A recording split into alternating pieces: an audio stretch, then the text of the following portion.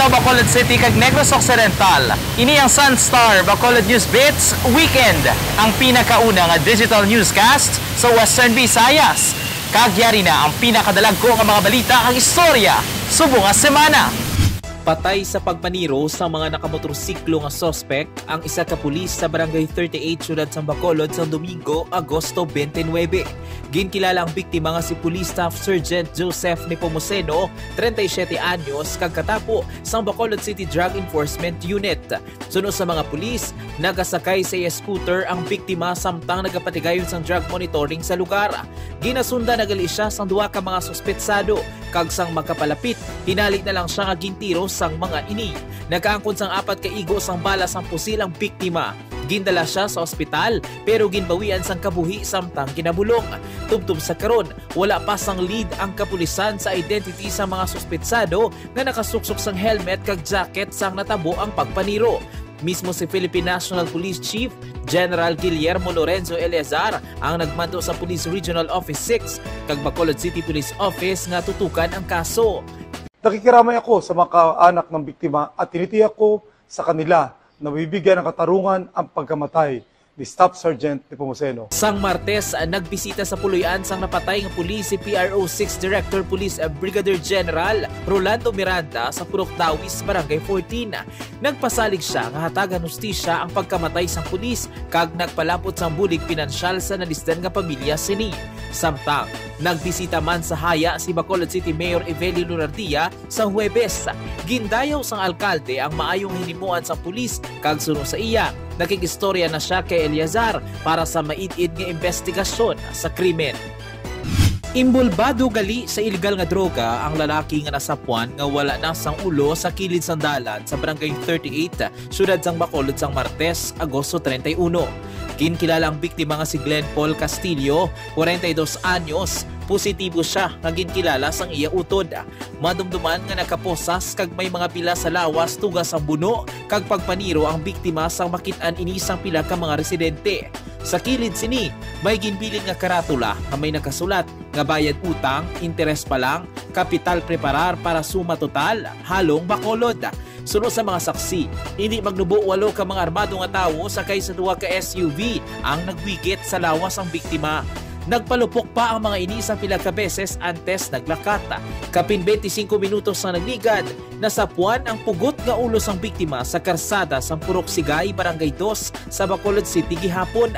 Nakasulod ini sa plastic kag ginhaboy kuno sa mga sospek nga nakasakay man sa SUV.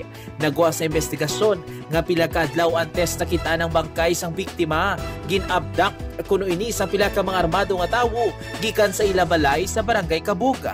Pero antes sini nadakpan gali siya kag ang iya live partner sa bypass operation sang City Drug Enforcement Unit sang Agosto 21. Nakagwa ini sa presuhan sang Agosto 27 matapos nga makapiyansa sang 200 mil pesos. Gani magluwas sa dumot kag pagtimalos transaksyon sa ilegal nga droga ang isa sa mayor nga motibo nga ginalantaw karon sa makasilidhi nga pagpatay sa biktima. Padayon ang investigasyon. Ginpanginwala sa lokal nga panguluhan sa Sagay nga ginabandona ukon ginpabayan na lang ang isa sinika housing project sa Barangay Paraiso para sa mga naapektuhan sang Bagyo Yolanda.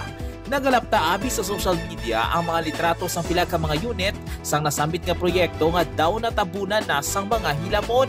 Suno kay Attorney Ryan Bonghanoy, focal person sa Yolanda Housing Project sa syudad, ang mga unit sang balay nga nakuha sang litrato ang kabahin sang phase 2 sang proyekto. Nagapadayon kuno ang application kag validation process para sa mga mangin benepisyaryo sa nasambit nga pabahay nga programa sa gobyerno. Inali matapos na ang installation sa mga benepisyaryo para sa mga nabilin nga kapin isa ka gatos nga unit sa phase 1. Sunod kuno dayon nga ipanghatag ang mga yara sa phase 2, partikular na ang mga balay nga nakuhaan sang litrato kag naglapta sa social media.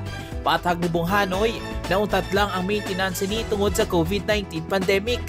May kasugtanan na kuno sadto ang lokal nga panguluhan kag barangay para sa pagmaintenar sang pasilidad. Ang barangay ang may tuka sa pagmaintain pero nangin masako kuno ini tungod sa mga aktibidad may angot COVID-19. Pero wala nagakasuyuran nga ginpabayaan kuno ang proyekto. in the city to our mayor that uh, will, will provide uh, assistance yeah, um, to maintain.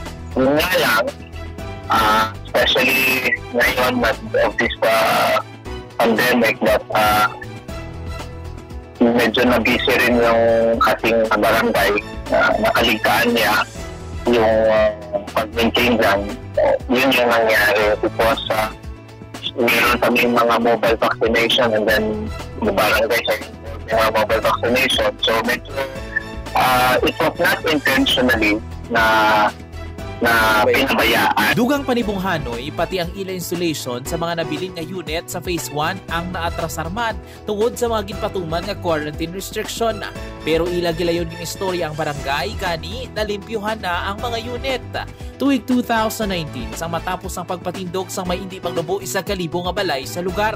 Target sang lokal nga panguluhan nga mapanagtag ang mga nabilin nga unit sa idalom sang Phase 1 sa ilabing madali nga panahon magluwas sa mga biktima sang Bagyo Yolanda, nalakip man sa mga benepisyaryo sini ang mga residente nga nagapuyo sa ginakabig danger zones kagyara sa ginatawag below poverty line. We stand that uh, medyo ganun the picture was taken and depicted that way but the truth is uh, it is not an abandoned uh, rescue.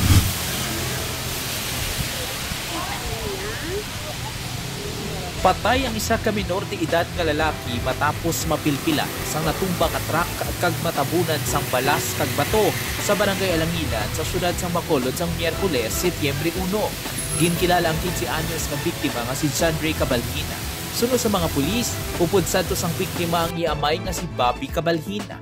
Nagapungko siya sa passenger seat samtang ang iya naman amay ang nagamaneho sang truck. Hinali na lang nawadaan sang preno ang truck nga kargado sang balas kag magagmay nga bato. Nag-isi-isi kuno ang truck gani napilitan ang mag-amay nga maglumpat. Apang natumba ang truck kag napilpilan sini ang minor de edad. Natabunan man siya sang balas. Nagbuligay ang mga rescuer kag residente nga makutkot kag makuha ang biktima. Nagamit pa sa isa ka truck para mabutong kag mapatindog ang natumba nga truck pero naglawig sang kapito nga sa oras antes nakuha gikan sa pagkaipit ang minor de edad. Gintinguan pa siyang i-revive kagindala sa ospital apang wala na siya makaluwas. Amo na lang ang pagtangi sang iamay nga nakaluwas siya sa aksidente. Mabatian pa sa video ang iya hinibion.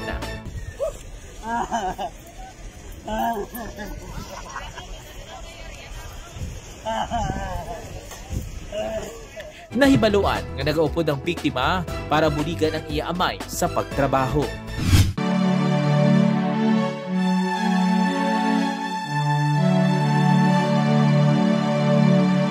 Ang iya mga musika daw magaduyan sa imo padulong sa isa ka malinong kag matahom nga paraiso.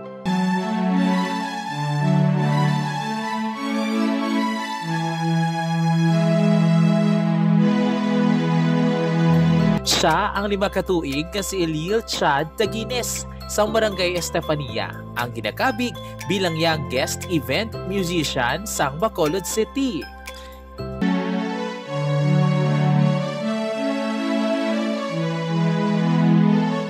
Sa iya lamharon nga edad, si Chad ang masami na gina-request nga magtukar sang piano sa nagkalain-lain nga event kaangay sang kasal, birthday, debut, kag iban pa. Sunod sa iya iloy nga si Jinky, nagsugod sa pagtukar sang piano si Chad sa edad nga apat ka tuig. Pero wala siya sang formal education sa music. Ang iya amay nga si Gilbert ang naghatag sa iya sang piano gamit ang iya background sa music bilang gitarista kag choir member, amat-amat nga gintunduan ni Gilbert si Chad ka magtukara. Pareho nga yara sa events industry ang iya ginikanan. Event coordinator ang iya iloy, kag stylist naman ang iya amay. Tungod masami siya ginadala sa mga ini, bata pa lang, na-expose na sa mga events si Chad. Gani amat-amat man nga nagtubo ang iya interes sa pagtukar sa mga special occasion. Sa karon, hindi magnubo 20 ka mga piyesa ang sarang tukaron ni Chad. Kaangay na lang sang River Flows in You, Canon in Sea, Moon River, Tanging Alay Ko, Living Hope, Faded, Memories, Forever Jesus, Beautiful in White, Perfect, Kag, Turkish March.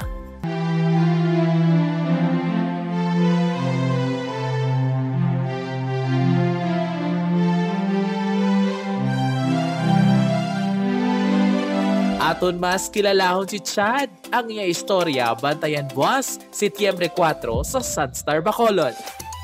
Kagamuyat tong pinakadalag ko mga balita kag istorya subong semana. Para sa dugang update, mag-subscribe lang sa Sunstar Bacolod News. Bisitahan man ang amon website kag social media pages. Kay man diin ka man nga bahin sang pungsod ukon kalibutan. Basta gani na hanungod sa Bacolod kag Negros, kami ang inyong gid, masaligan. Ako sa Erwin ni Cavera, ini ang Sunstar Bacolod News Bits Weekend